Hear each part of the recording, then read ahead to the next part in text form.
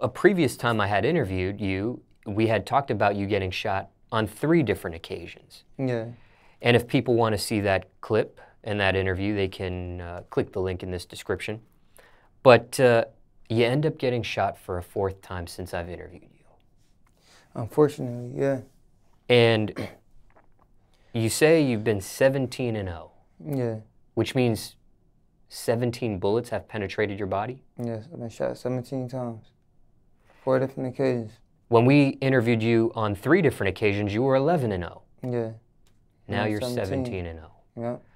Now, can you explain or address the very last time, the fourth time, the fourth occasion you were shot? Yeah, this this is in the last time too, man. But I'm not going to get into like details exactly what happened. But what I will say is, what I will say is that, you know, at first,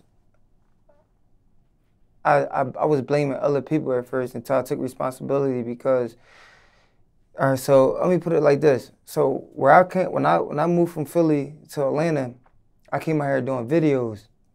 I was a, I didn't hang with people like me. I hung with like funny Insta, Instagram people and funny people and all that stuff like that. And for a while, I used to try to like tone who I really was down just so I can fit in with these type of people. And it's different occasions where like the real me will come out though. If I like say perfect example, like this is one example that actually happened. I went out, I was with an influencer, social media guy. Never been through what I've been through, you know, never seen none of that. So I'm out one time, we at a gas station, we about to go to Rolling Loud, Rolling Loud, and a guy was selling CDs at a gas station, and um, I'm like, yo, we running late, we gotta go. So he like, um, the dude run up and like, yo, no CDs, and I'm like, yo, we gotta go. So the dude, you know, come to my car and all like, yo, niggas, like, why the fuck you, you know, I'm trying to sell CD. How about the wheel, you know, what's up? Like, you know what I'm saying? He, the, the dude I was with, I don't want to say names, but he made me feel like I was like tweaking, like I'm like crazy, I'm tripping and stuff like that. And, you know, that stuff kind of like, like for a while, I've been battling like demons within myself because I've been battling like who I really am or who I'm supposed to be. I'm this person that come out of Philly, and this and this this is not to glorify anything, but where I come from, I'm very fair to my city, a known hitter, like like real talk, like you know what I'm saying. So it's like if you in Philly, if you don't know of me, I mean if you don't know me, you definitely know of me. My name ring bells for real, for real. So me coming from that world and then coming to this world with with dudes that never seen anything, been through anything, it's like they thinking I'm crazy off my reactions to things, but in my head, I'm protecting us. You feel me?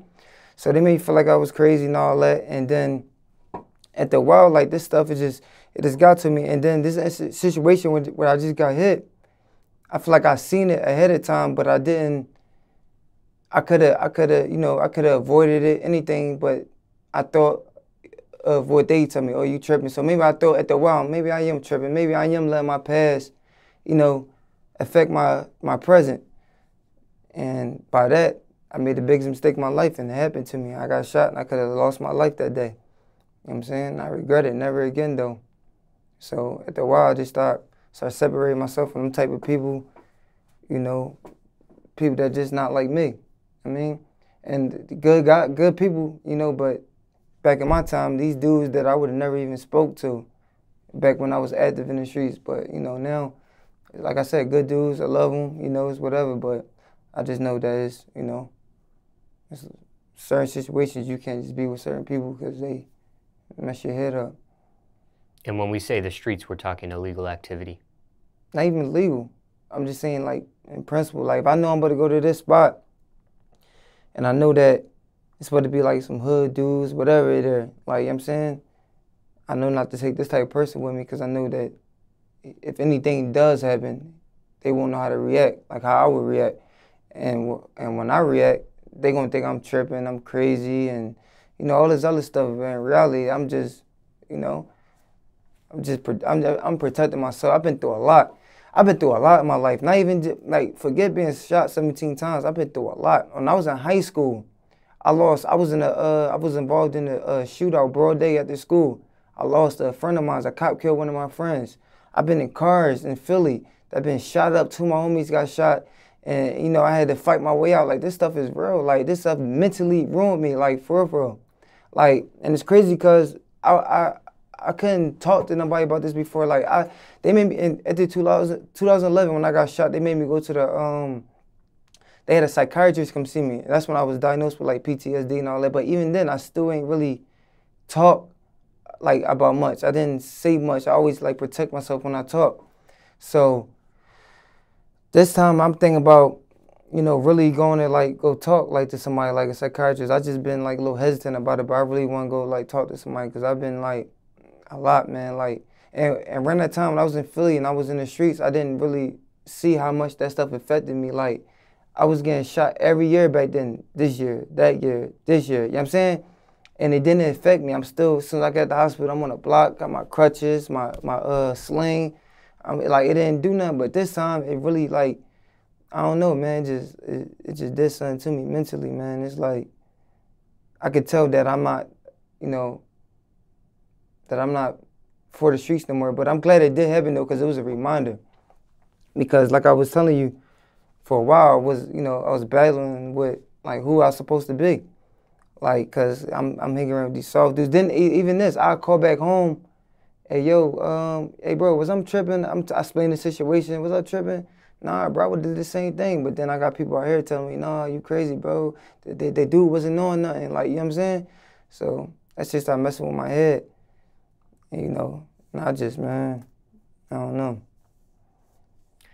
When it comes to uh, wanting to talk to a mental health professional, and uh, you stop yourself from giving and submitting full details of what you've gone through to get uh, better help is is part of the reason maybe a thought of some of the details may incriminate you in some sort of way? That's exactly why and that's why i don't see myself like really saying too much but i think i'm ready now like you know i still won't say certain stuff but i you know just to express myself. It's just hard for me to like sit in front of somebody and really like talk like and tell them things I've done and you know like it just I be thinking they all like work with the feds or something like they gonna get me locked up. So you know. So there's a part of you to fully get help that wants to release all the details and and, and just give yourself away so you can get the best help you can mentally, but a fear of incriminating yourself with some of these details and that sort of thing stops you from doing that. And yeah. now you're kind of stuck in between. You've gotten some help before but not maybe totally full because you weren't able to submit yourself in that way. And now you're stuck in between this rut of maybe you're kind of like kind of fixed but not really. Yeah but you know yeah like and you know that stuff is real though because it's like a lot of times like I was saying, like so I ain't finished what I was saying last time. So basically, like when I was back then, back then it didn't affect me as much as it do now. And then when you, you know, I've been away from the streets for a little while now. I haven't been active like that. So it's like now, like I have, like I be having like breakdowns sometimes too. Like you know, a lot of people not gonna say this, but I lost a lot of homies. Like I was just telling you, like me been in cars that got shot up. I lost in high school. I never even got a chance to. I grad, I got my diploma, but I never even got a chance to walk. I never went on no prom. I never, all because of violence and stuff that was going on. So it's like, this stuff is like, it just, it just, it's just crazy, man. And it's like, now by me in Atlanta, it's like, I, I see everything that that I, or I feel everything that I didn't feel back then. So I had, I can be, I can sometimes I drive and I just be thinking, I just start crying, break out, you know, like it's so crazy, man. Then getting shot, all them, man, this stuff is crazy, man. This stuff is just crazy. Okay, you haven't fully submitted yourself and given yourself away detail wise to a mental health professional yet, but have you ever given yourself to somebody or let somebody in completely, whether it was a family member, uh, a personal friend, something of that nature that. The most I talk to is I got I got a personal friend that I talk to. That's about it. And have you been 100% detail wise with them, or, or no, you still hold back? No, I, I'll be 100%. And has that helped you? releasing that information, releasing those details, getting at the things off of moment, your I feel like it helped like momentarily. Like it, it helped me at the moment, but longevity, I don't know. I think I think honestly, I don't think I think all this stuff is like within time, like you know. But I don't know. I've been like this for a long time though. Like the first time I got shot was in 2010, and then here a decade later I got shot again, and I don't, you know it's crazy though? I used to think that me being this way, me having this mental problem, kept me alive. Cause like, so what I got, they say our PTSD, it keep you on alert, uh, times a hundred. So I always felt like it just, you know, kept me alive, long, like you know, and be on point and stuff like that. But this stuff is stressful and it's like it, it, it weighs a lot on your brain and got to keep looking and stuff is, is it's a lot, man. The stuff that you're describing sounds like stuff in a video game, sounds like stuff in movies, sounds like stuff in combat. When you Yeah. talk about losing people, when you talk about violence, when you talk about shootouts, these are things that a lot of people on a macro level will never get a chance to personally go through. Right. What are you seeking from a mental health professional? What do you what do you or if not a mental health professional, what are you missing? What do you feel like you need help with? What do you feel like is the missing link or thing here that that you are striving for? I don't know. Sometimes I just I just want to feel regular again. I just want to, you know, I be want to feel like how it was when you were a kid. Like you don't got no worries in the world. Like you get to just live life. You don't got to worry about nobody trying to kill you or harm you any type of way. Like it's just, you know, I just want to feel like that again sometimes. When it comes to beef, ops, things of that nature, is that something you still worry about? Is that something that still can come back to haunt you? Is that something that when I'm, I mean, when I'm home, when I'm back in Philly, yeah, I got, I got to move accordingly. I got to move in a certain way because I know, you know, I know what's gonna go down. You know, and it come with the game. You know what I'm saying? You know, you that shit, that shit come back. So, I, you just gotta move accordingly. So I don't for like like worry, but you know, I don't know. But one thing I will say that you know what's crazy? I remember, like I was saying back then, I didn't care if I lived or died back then. Now that's like my biggest fear is dying. I don't want to die. Like, you know what I'm saying? Like, I got like my son, like my family. I see how it affect. Like, even I just got shot, you know, a couple months ago. I see like how it affected my mom, my close friends, my son, my sisters. Like, they was like, my mom flew down here to see me, was in tears. Like, and I'm like, man, that's cool. I just, I don't, I don't know, man. When I look up the definition of a therapist, according to Talkspace.com, a therapist, more specifically a psychotherapist, is a licensed mental health professional who helps clients improve their lives, develop better cognitive and emotional skills, reduce symptoms of mental illness, and cope with various challenges. Are you seeking any of that still? As far as what, like, is I'm trying to seek that? Like, yeah, are you seeking any of those items I just noted there? yeah, I would say so. Are you seeking an improvement with your life, develop better cognitive and emotional skills, reduce symptoms of mental illness, and cope with various challenges? And that's a broad definition of a therapist. But Yeah, I would say that. all of the above or something specific there? All of above. Now, I've interviewed somebody that's been shot one time, Right, paralyzed from the waist down. right. You've been shot 17 times, and I watched you walk through the lobby. I didn't even see you limp. Bless. Do you ever think about or comprehend that? Yeah, like I honestly I, I think about it all the time. Like like I said, I know a lot of people that died. Like especially this year, so many people that got shot and died, and I just be thinking like a lot of times I'm like, why? Like why I'm still here? You know, one of my homies got shot literally like a month before I did. I got shot with uh, June, in the June. He got shot in um May. He's paralyzed now. He got shot one time. So I just be thinking like, you know, why? I just don't know why. So I'm just trying to figure out my purpose. That's all. You know, figure out what I'm what I'm doing here, what I need to accomplish, and you know why I'm still here. Overall, I'm blessed though, man. I'm blessed.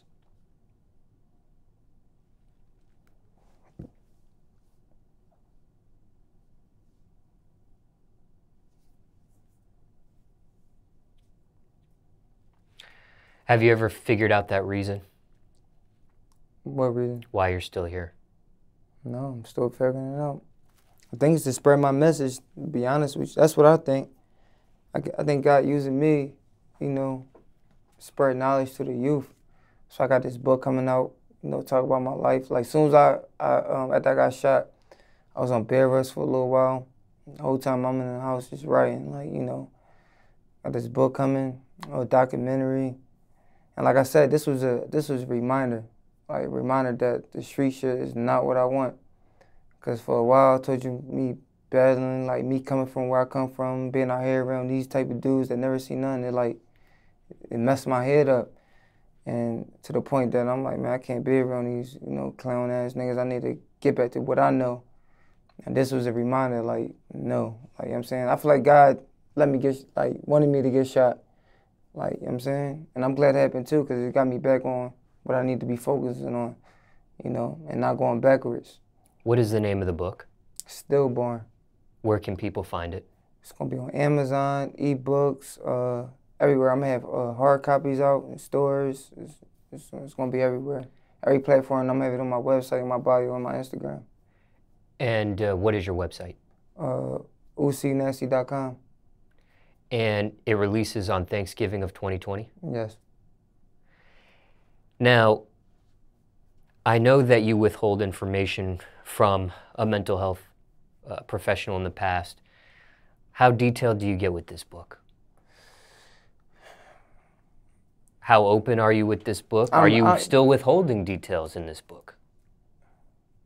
I, I withhold some things, but to a certain extent. Like I, I tell a I tell a lot. Like in this book, you really learn a lot about me. Like a lot. Like from my childhood to how I got the name C Food, how you know Uzi Nasty came about, which I just explained to you. A, a lot. Like a lot of things people be wondering about me, they gonna find out in this book.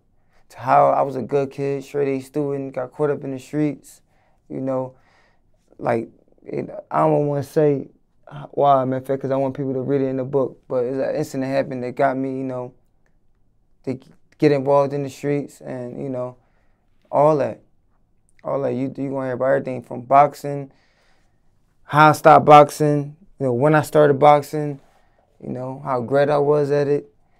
Uh, school events when I was going to school, how I got kicked out, and you know, like everything. The incident I was telling you about when my friend got killed when I was in high school, everything.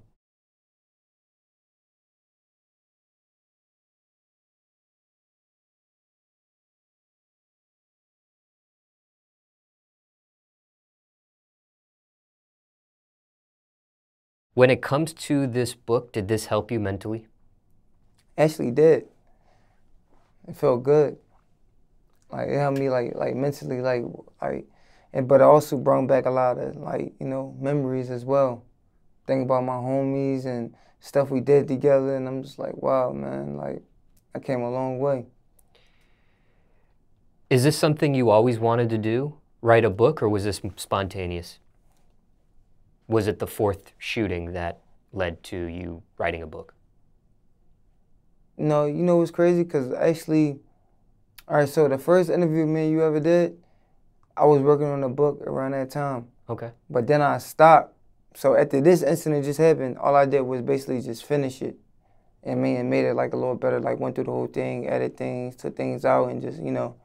So I'd say it'd be something I wanted to do for a while. How long do you think this book took from the time you started it to the point where you finished it? Time wise, rough estimate. Two, three years? like yeah, it'd be yeah, it'd be about that. Did you have help with the book, or is this sh- entirely written by you, every entirely single word? entirely written by me. Didn't have an editor look I had over. a, yeah, I had an editor go over it, but everything's written by me is what I, you know, all the you know, you know the work of an editor. So they you know just when basically proofread everything, all everything, and format it for me and everything like that. But everything's written by me. How do you find that? How do you find an editor for a book? Um, honestly, I was I was uh searching for a while. That's actually been the, why the, the delay in you know my book, but actually a friend put me on. Like you know, I know somebody that you know that's what they do. They didn't release books and blah blah blah, and that's how I got to that.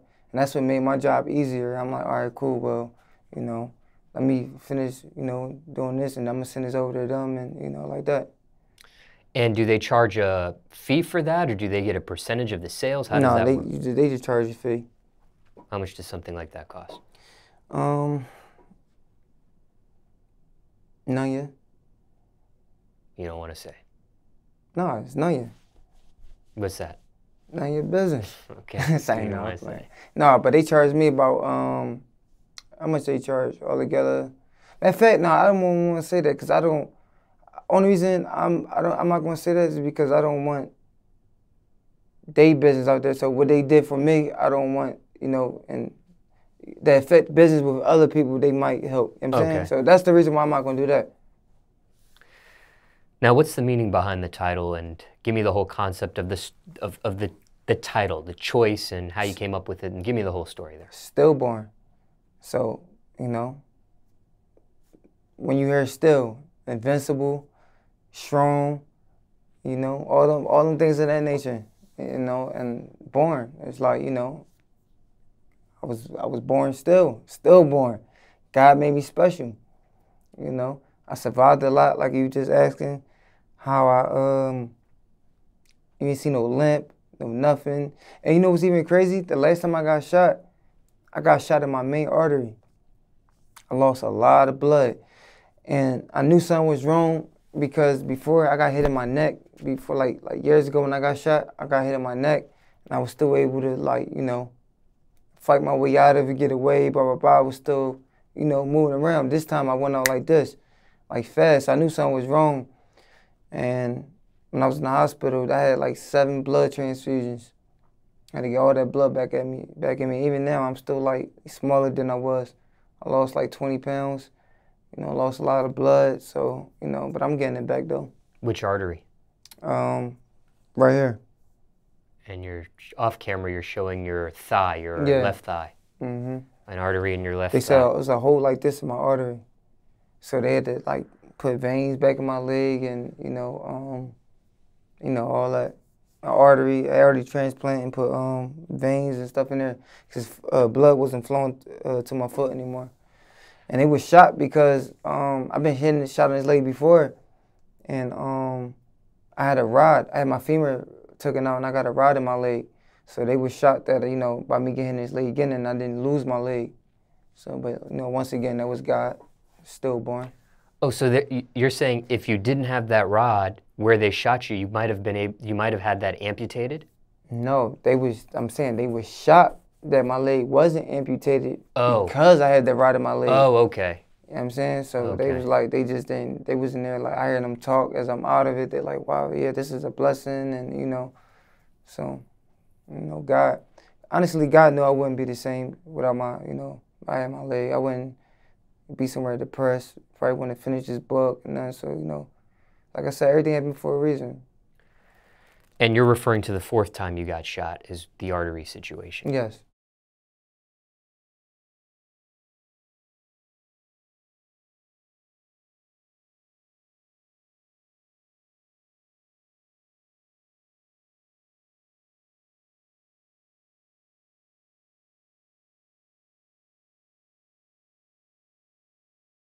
Steel Born. And I don't want this going over people's heads like I'm like like I'm saying I'm invincible and stuff like that because we all can get touched, we all can die. All I'm saying is, from my incidents, what happened to me, invincible, strong, you know, born, born strong. Like God just made me special. So, what inspired you to write the book initially?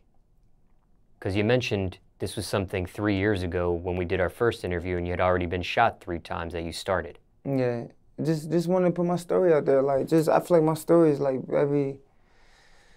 It's different.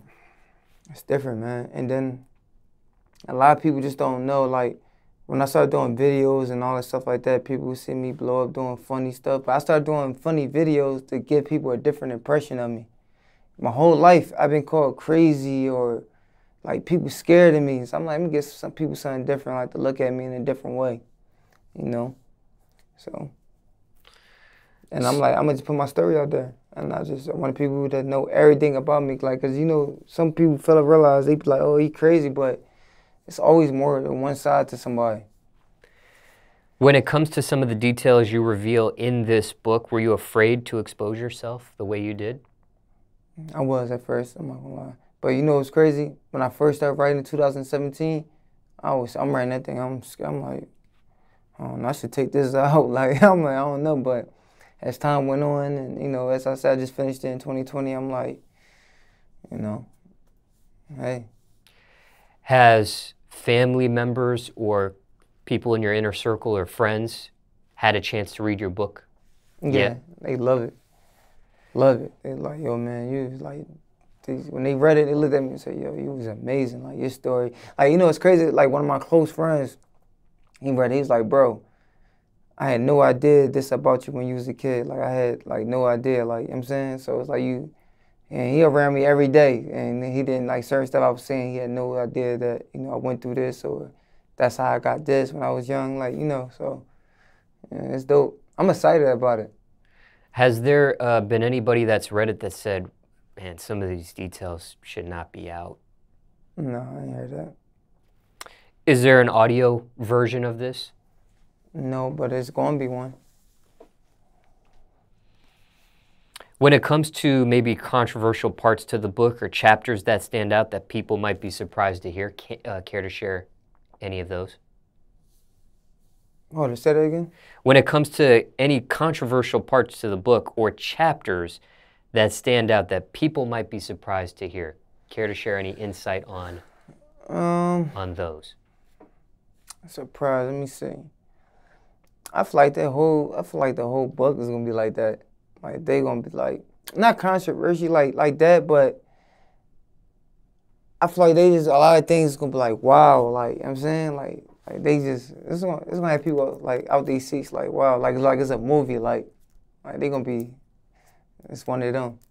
It's like gonna be one of them real like especially when I like if everything fall through how I wanted, the movie it's gonna be crazy, man. So much action and real. It's gonna be it's gonna be crazy. It's dope. So is the movie based on the book or is the movie The movie gonna be based on the book. Okay. Yeah, people eh, people already when they like I told you my close friend that read the book was like, yo, it's like a movie. Like reading it, like, yo, it's like he, he didn't listen, he came to visit my house to pick something up. He didn't want to leave. He was stuck. I'm like, yo, check this out. He over there like this. I'm like, bro, don't you gotta pick your girl up? He's like, man. You know what I'm saying? It had you like like that much into it. Now, are you doing a movie because people are saying, "Hey, this book is like a movie," or no. you already had thoughts on doing that? That was already the plan. Did you want to do a book first and then a movie, or did you want to do the movie first and then at some point a book, no, or just worked book, out that way? Book first, movie, and then within within that time, I want to do a documentary as well. Oh, so there's a difference between the documentary and the movie. Yeah. W- what is the difference? The documentary is going to be like you know like a documentary. People speaking of me like when I was a kid. Like people in Philly go to. I'm gonna go like visit certain locations where I was shot at in Philly, where I grew up at, stuff like that. The movie is gonna be like a movie, a real movie. A movie based on a true story. Yes. So some elements in a movie based on a true story might be exaggerated or uh, some sort of nature to make it no, more entertaining than what it is. Yeah, this based on it's gonna be a true story. But you know, like you just said though, some of that too though. If it makes it the movie better, and then you know it's gonna be what it is. Okay, so my final question with the book when it comes to publishing and distribution, who do you go through for that? Um, so basically, the people um, I use as the editor, they have their own like distributing and company and everything like that. So they actually the ones that's helping me put like drop uh, drop it on everything, Amazon, ebooks, everything. So they they actually helped me with that.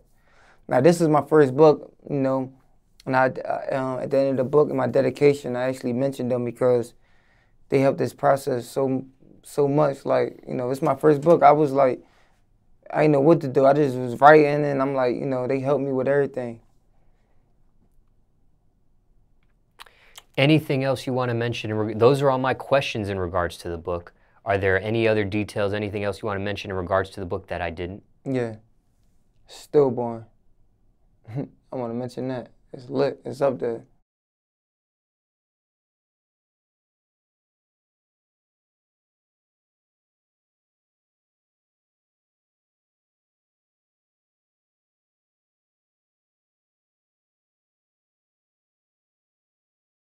Steel like like uh, like Superman, Man is still oh, okay, still okay. born, you know.